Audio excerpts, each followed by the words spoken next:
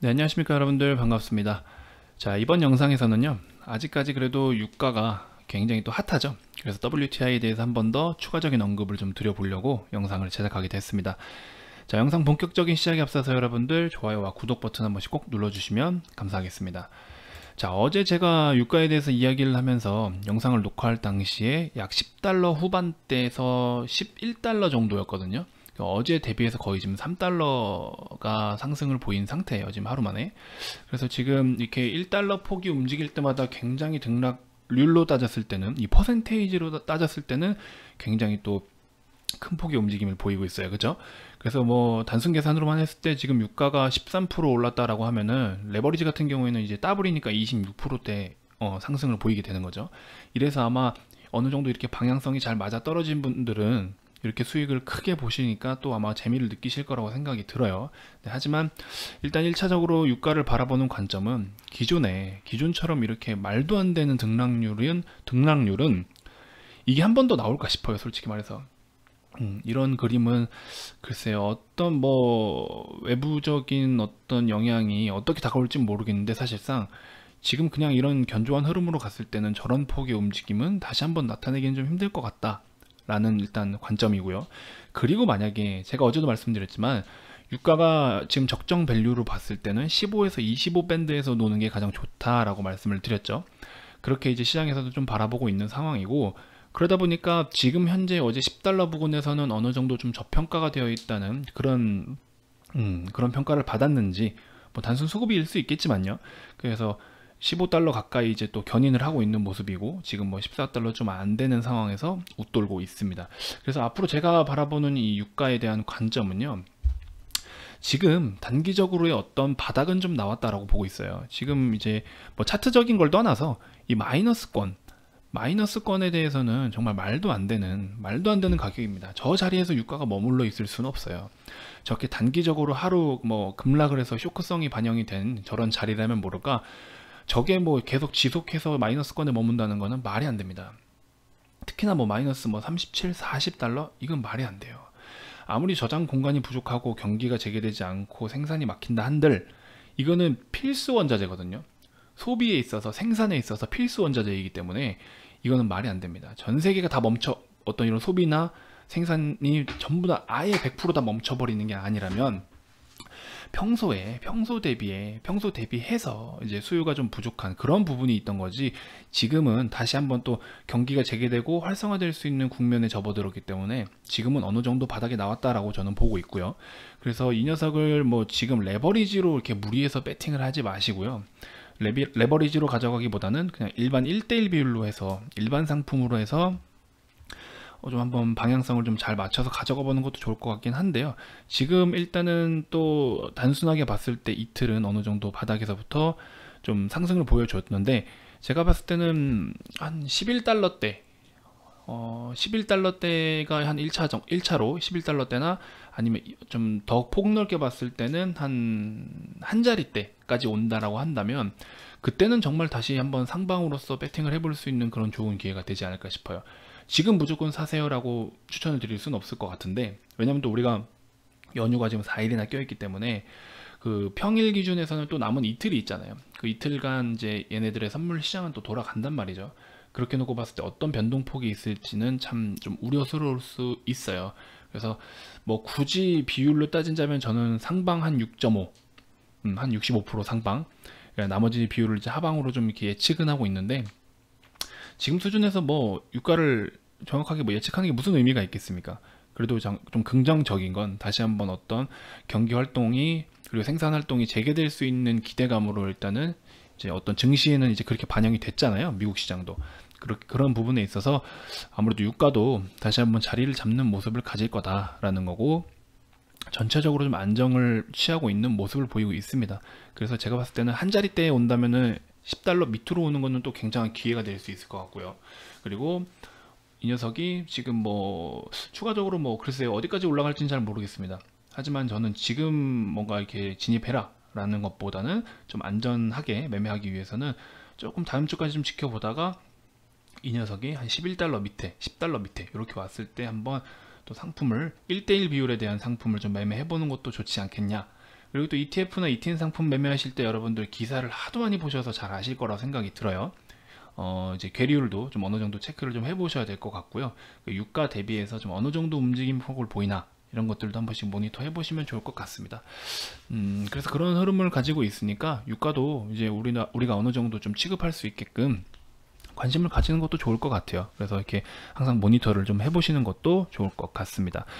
그리고 이제 뭐 기존에 우리가 유가가 70달러, 100달러일 때 요럴 때 움직이는 1달러랑 지금 현재 10달러대에서 1달러 움직이는 거는 이 퍼센테이지 등락률 다르죠, 이게. 그때당 100달러일 때 1달러 움직이면 1%밖에 안 되지만 10달러일 때 1% 움직이면 10%예요. 그렇죠? 그래서 지금 이렇게 소폭 움직이고 있는 상황에서도 등락률로 우리 수익률로 봤을 때는 굉장히 움직임 폭이 크니까 이거 꼭 참고하셔서 어 좀 이렇게 적정선에서 잘 매매를 하시면 또 꽤나 좋은 수익률을 만들 수 있을 것 같아요. 그래서 그런 점도 좀 참고를 해보시면 좋을 것 같고 유가가 어느 정도 좀 움직이면서 우리나라 이제 정유주들도 조금씩 꿈틀거리는 모습을 보이고 있습니다. 그래서 유가가 유가를 당장 직접적으로 배팅하기는 좀 리스크가 있다라고 했을 때는 뭐 이런 관련된 종목들을 좀 매매하는 것도 괜찮은 방법이지 않겠냐라고 말씀드리면서 제가 뭐 이제 어제 이전 영상에서 여러분들께 또 추천을 한번 한번 살펴보시면 좋을 것 같아요 라고 말씀을 드렸던 게 저는 이제 중앙 에너비스라는 종목인데요. 이 종목 같은 경우에도 뭐 차트적으로도 굉장히 이뻐요. 그림도 굉장히 이뻤고 어느 정도 우리가 잡았던 타점에 대해서 지지도 굉장히 강했고 그래서 지금 거의 한 7, 8%대 정도 수익을 보이고 있는 모습이 있습니다.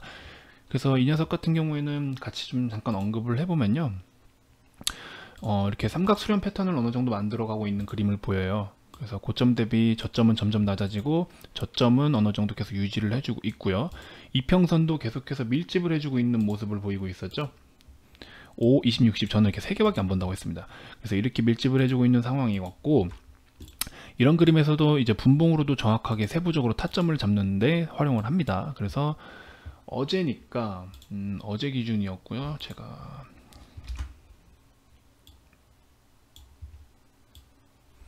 자, 금일 신규 편입한 종목 어제 기준으로 중앙에너비스 8,950원이라고 말씀을 드렸습니다. 그래서 이 종목 같은 경우에도 오늘 지금 들고 계신 분들 그리고 영상 보시면서 좀 참고하신 분들 있으면은 뭐 센스 있게 매매하셨으면 수익을 좀 보실 수도 있겠죠. 자, 이 종목 같은 경우에는 기존에 한번 거래량이 터지면서 바닥에서 한번 이렇게 바닥을 만들려고 했던 그 자리잖아요. 그래서 이 자리 때 이 자리 라인을 좀 지켜주고 기존에 60선과 그리고 요 바닥권을 지지를 함께 지켜주는 자리 여기도 마찬가지로 60선을 좀 타고 상승을 좀 이어주려는 자리 이렇게 이중 지지를 하는 구간 이중 지지에 대해서 확인을 했고요 그래서 바닥이 확인되고 나서 조금 소폭 올려준 8,950원에서 매수를 한 겁니다 그래서 현재 지금 뭐 9,500원, 9,600원 넘게 좀 찍고 내려왔는데 어쨌든 아직까지는 추세가 좀 이어지고 있고요. 그래서 이 종목은 좀, 조금 더 움직임을 보고 대응을 하려고 합니다. 그래서 이 종목도 지금 아직 홀딩 중이기 때문에 뭐 어떤 식으로 좀 매매를 하는지에 대해서 좀 참고를 해보시면 좋을 것 같아요. 흥구석유도 지금 좀 움직여주고 있고요. 이 종목은 따로 매매는 하진 않았습니다. 매매하지는 않은 종목이고 음, 어느 정도 좀 움직임을 보여주고 있고요. SK이노베이션도 지금 조금씩 꿈틀거리는 모습을 보이고 있습니다. 자, 이런 식으로 뭐 꼭 우리가 직접적으로 직접 연관된 종목 그러니까 직접적인 그 해당 상품을 매매하지 않더라도 관련된 종목들을 가지고도 좀 충분히 매매를 할 수가 있습니다. 그래서 그런 종목들 같은 것도 제 영상 꾸준히 보시면 제가 또 다 브리핑을 해드릴 거고 이렇게 또 차, 타점 잡는 거 타점 잡는 것들도 실시간으로 좀 이렇게 살펴보면서 여러분들께 추천을 드리니까요. 여러분들 좋아요랑 구독 버튼 꼭 눌러 주셔야겠죠. 그래서 알림 설정까지 해주시면은 이런 종목들 제가 언급 드릴 때 정말 눈치 있고 센스 있으신 분들은 딱 보고서 어 괜찮네 하고서 매매를 같이 하시는 분들도 계세요. 근데 제가 이제 유튜브에서 지금 공식적으로 추천 종목을 아직은 안 드리고 있기는 하지만 이런 상황에서 여러분들한테 여러분들 뭐 이거 사세요 이거 사세요 이거 갑니다. 이렇게까지 언급을 할 수는 없거든요. 그래서 항상 말씀드리건데 기존에 가지고 계신 분들은 이렇게 대응을 하셔라. 그리고 아직 좀 관심을 갖고 계신 분들은 어, 이런 데는 좀 괜찮은 자리다. 이렇게 실시간으로 제가 계속해서 리딩을 해드릴 수가 없잖아요. 주식은 이제 대응이니까. 그래서 그런 부분에 있어서 여러분들이 좀 눈치껏 딱 어느 정도 어느 정도는 알고 계신 분들은 이거를 눈치 있게 캐치를 하셔서 매매에 반영을 하실 거예요. 아마 실제 매매를 하실 거라고 생각이 들어요. 그래서 그런 것들 한 번씩 참고해 주시면 좋고 영상 곳곳에 이런 요런 핵심 포인트들이 하나씩 있어요. 음, 약간 보물찾기 하듯이. 그래서 여러분들 그런 것도 한번 참고해 보셔 가지고 또 좋은 수익 따라왔으면 좋겠습니다.